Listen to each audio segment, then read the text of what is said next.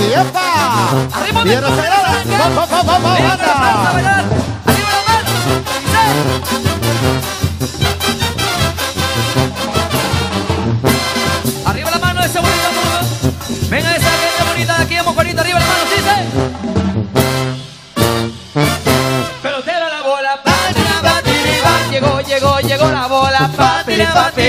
Que siga, que siga, que siga la bola, patiri, patiri, bam. Se va, se va, se va la bola, patiri, patiri, bam. Que siga la bola. Papiri, papiri, pam. Dile pelotero que se pare la bola. Papiri, papiri, pam.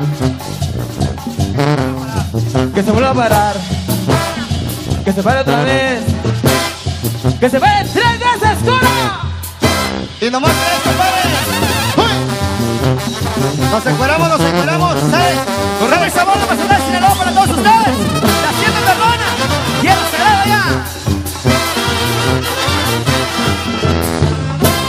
Abanico, abanico, abanico, abaniquito ni hablar. Como mueve el abanico, abaniquito ni hablar. Como gira el abanico, abaniquito ni hablar. Se me rompió el abanico, abaniquito ni hablar. Que siga la bola, papiri, papiri, pa. Rolita por la primera, papiri, papiri, pa. Rolita por la segunda, papiri, papiri, pa. Jugada de esquina el ron. Papiri, papiri, pa. Si la pelotero que se pare la bola, papiri, papiri, pa. Que se vuelva a parar. Que se pare otra vez. Que se pare tres veces, Rubio.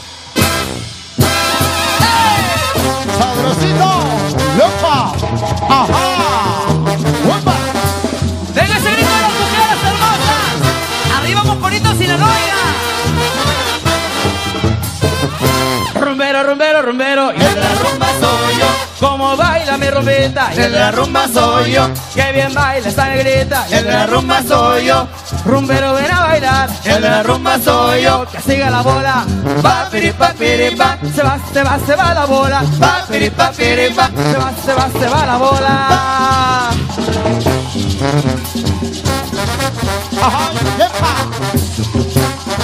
¡Ajá!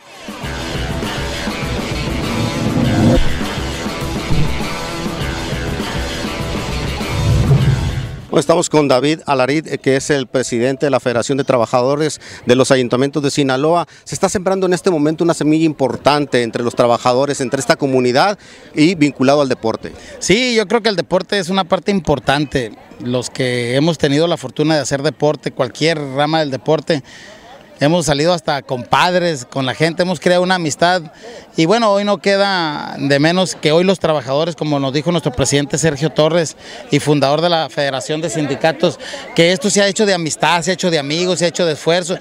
Y que tú vayas a Culiacán y que a veces se nos presenta una cuestión de escuela con los hijos, de dónde vivir o alguna situación eh, o de enfermedades, sabes que cuentas con alguien ahí, a veces la desesperación de no tener ni quien te eche la mano. Creo que el, el deporte hace eso, la Federación de Sindicatos ha creado eso, queremos seguir trabajando y creo que el no olvidar las raíces, quién fue el que fundó esto, agradecerle y reconocerle, esto es, esto es un sindicato, eso somos los trabajadores, eso son las mujeres y los hombres de los trabajadores del ayuntamiento. Podríamos pensar, podríamos decir que este podría ser el primer eslabón de una gran cadena de eventos deportivos. Sí lo es, sí lo es, porque creo ahori- ahorita pues las redes sociales los mismos los mismos eh, dirigentes de otros, David, qué bueno, porque ellos ya sabían de este evento, se les mandó la invitación, que ya lo quieren hacer en Mazatlán, lo quieren adoptar en Escuinapa, quieren hacerlo, entonces es el primer eslabón, bien lo dices, y así se queda porque es el principio de muchas cosas buenas que van a ver.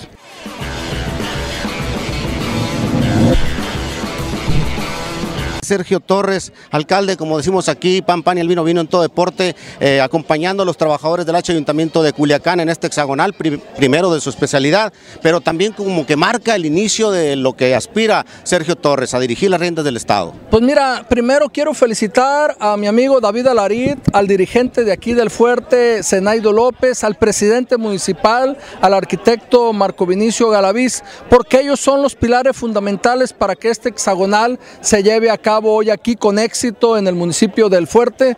Nosotros pertenecemos a la federación, yo soy un empleado sindicalizado más del ayuntamiento de Culiacán con licencia para ocupar el cargo de alcalde. Y en el otro tema pues nosotros estamos tranquilos, estamos trabajando, estamos promoviendo a Culiacán. Y cuando el partido decida y saque su convocatoria pues ahí vamos a estar presentes. Y bueno estamos al escrutinio de la sociedad, al escrutinio del partido, esperemos que suceda lo que queramos y lo que queremos y si no fuese así estamos para apoyar lo que el partido decida. Nosotros somos prácticos, somos transparentes, no nos enredamos y yo siempre voy a trabajar a favor de la unidad del partido. Se han hecho cosas importantes en el deporte en Culiacán, sin lugar a dudas, eh, en Sinaloa también, pero ¿qué falta? ¿Qué falta hacer por Sinaloa en el deporte precisamente?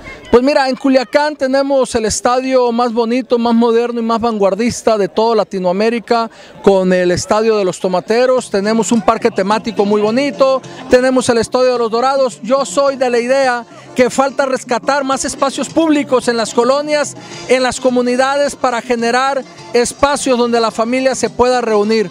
Obviamente tenemos que seguir apoyando el deporte, tenemos que seguir apoyando a los atletas de alto rendimiento y también a sus entrenadores, porque yo creo que Sinaloa, que ha mejorado mucho en los últimos años, hay que decirlo, puede, puede mejorar todavía aún más ese lugar número 10 que tiene a nivel nacional